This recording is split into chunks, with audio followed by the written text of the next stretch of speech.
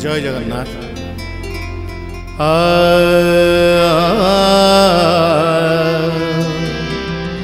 आ,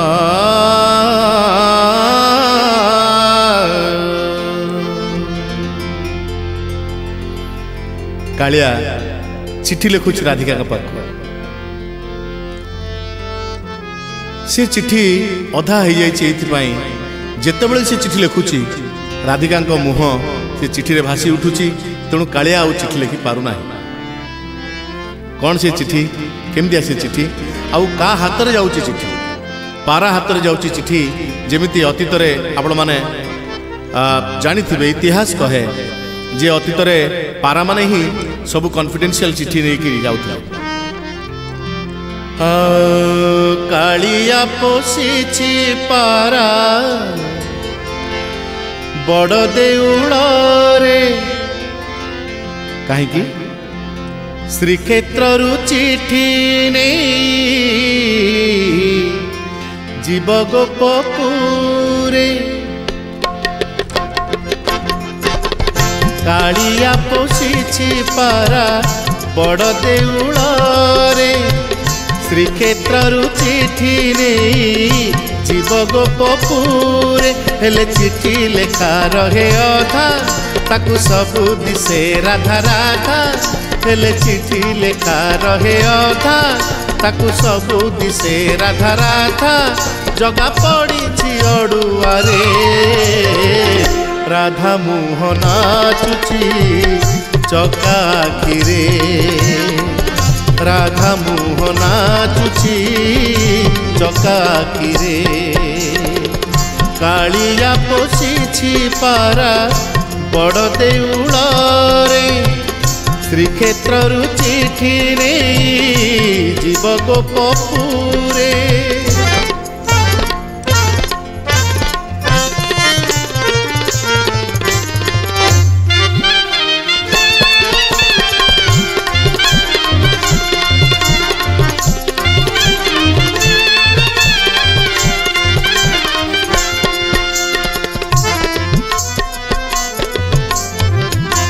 ଭକତ ଡାକିଲେ ଯିଏ ଉତ୍ତର ଦିଏ। ନାଧା ପାଇଁ ନିରୁତ୍ତର ଚିଠିରେ ସିଏ। ଭକତ ଡାକିଲେ ଯିଏ ଉତ୍ତର ଦିଏ। ରାଧା ପାଇଁ ନିରୁତ୍ତର ଚିଠିରେ ସିଏ। କି ଚିଠି ଲେଖିବ ଦୁଇ ଅକ୍ଷର ନେଇ ରାଧା ବିନା କିଛି ଲେଖି ପାରୁତ ନାହିଁ ପାରା ଘୁମୁରିଲେ ଘୁମୁ ଘୁମୁ ସତେ କହେ ଚିଠି ଦିଅ ଛାମୁ ପାରା ଘୁମୁରିଲେ ଘୁମୁ ଘୁମୁ ସତେ କହେ ଚିଠି ଦିଅ ଛାମୁ ହେବ ଯିବାକୁ ବହୁ ଦୂରେ ନିରୁପାୟ କାଳିଆ ହସେ ମିଛରେ ନିରୁପାୟ କାଳିଆ ହସେ ମିଛରେ କାଳିଆ ପୋଷିଛି ପାରା ବଡ଼ ଦେଉଳରେ ଶ୍ରୀକ୍ଷେତ୍ରରୁ ଚିଠି ନେଇ ଯିବ ଗୋପପୁରେ